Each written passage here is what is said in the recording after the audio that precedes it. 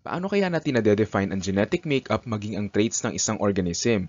Ang sagot sa tanong na yan ay nakapaloob sa ating mga DNA dahil ito ay may kakayahan na mag-specify ng traits ng isang organism sa pamamagitan ng pagdirect nito sa protein synthesis. Ang mekanismo sa likod ng transkripsyon na unang bahagi ng protein synthesis ang ating pag-aaralan. Kasama ako si Sir Mario ng inyong virtual science teacher na magbabahagi ng makabuluhang kaalaman tungkol sa ating mundo. Kaya talika na, tuklasin natin ang mundo na aghamat teknolohiya dito lang sa PRISM o Program for Innovative Science Media.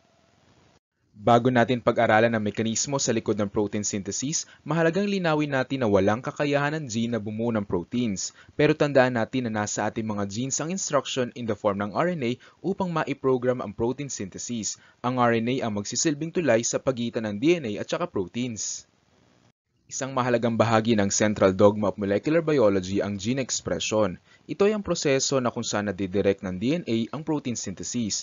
Ang pag-express sa mga genes na nagko-code para sa mga proteins ay nahati sa dalawang stages. Ito ang transcription at translation. Pero bago natin tingnan ang mga prosesong nakapaloob sa gene expression, aralin muna natin ang structure ng RNA. Ang RNA o ribonucleic acid ay isang uri ng nucleic acid na binubuo ng isang strand lamang ng nucleotides. Tulad ng DNA, ang nucleotides ng RNA ay binubuo ng ribose, phosphate at mga nitrogenous bases tulad ng cytosine, adenine, guanine, at uracil sa halip na thymine. May tatlong uri tayo ng RNA na may encounter natin sa protein synthesis. Ito ang messenger RNA, ribosomal RNA, at transfer RNA. Malalaman natin ang mga role na ginagampanan ng bawat uri ng RNA sa pagtalakay natin ng proseso na nakapaloob sa protein synthesis. Upang mas madali nating maunawa ng protein synthesis, maaari nating isipin na ang daloy ng genetic information ay parang mga salita na nagagamit natin sa communication. Maaari nating maisip na mga nucleic acid at proteins ay parang mga salita na binubuo ng mga letters na sa case ng protein synthesis ay mga sequence ng nucleotides. Ang specific sequence ng nucleotides na ito ay mahalaga upang makabuo tayo ng functional protein na siyang produkto ng prosesong ito. Ngayon, maaari na nating simulan ang pag-aaral ng gene expression sa pamamagitan ng transcription. Ang transcription ay ang synthesis ng RNA gamit ang information na nakapaloob sa ating mga DNA. Sa prosesong ito, ang DNA ay nagsisilbing template upang mag-assemble ng complementary sequence ng RNA nucleotides. Atin ang pag-aralan ng DNA-directed process ng pagbuo ng mRNA sa transcription. Nahati ang transcription sa tatlong proseso. Itong initiation, elongation, at termination processes. Titingnan natin ang mga kaganapan sa bawat bahagi ng transkripsyon. Sa mga eukaryotic cell, ang transkripsyon ng isang gene ay magsisimula ng initiation process sa mga regions na tinatawag nating promoter. Ang promoter region sa mga cells na ito ay kadalasang binubuo ng Tata box sequence. May ilang transcription factors na nakaka-recognize sa Tata box sequence na nagdudulot ng pagdugtong naman ng RNA polymerase.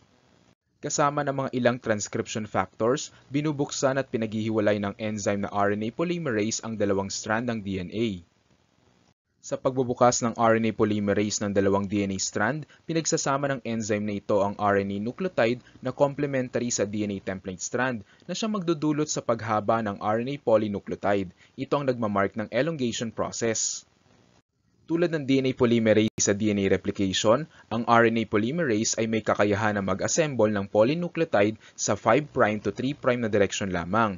Ngunit hindi tulad ng DNA polymerase, ang RNA polymerase ay may kakayahan na magsimula ng elongation kahit walang primers na kinabit sa simula ng transcription process. Sa elongation process ng transcription, ang guanine ay mapapares pa rin sa cytosine, ngunit ang adenine ay mapapares na sa uracil kapalit ng thymine. Ang uracil na isang pyrimidine ay ginagamit sa protein synthesis dahil mas madali itong maproduce kumpara sa thymine. Sa kabilang banda, ang DNA ay gumagamit ng thymine dahil mas mainam itong gamitin para sa mas mabilis na maisagawa ang DNA damage repair dulot ng conversion ng cytosine sa uracil na hindi nangyayari kapag thymine ang ginagamit. Sa mga prokaryotes, ang transcription ay titigil lamang kapag naabot na nito ang terminator sequence.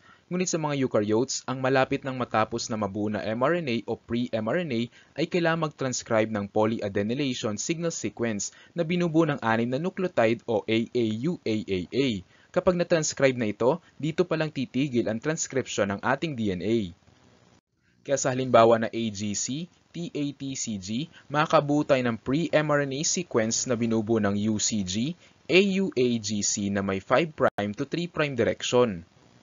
Pero bago makalabas sa nucleus ang pre-mRNA, ito isa sa ilalim sa RNA processing. Sa prosesong ito, magaganap ang modification at alteration sa magkabilang dulo ng pre-mRNA transcript.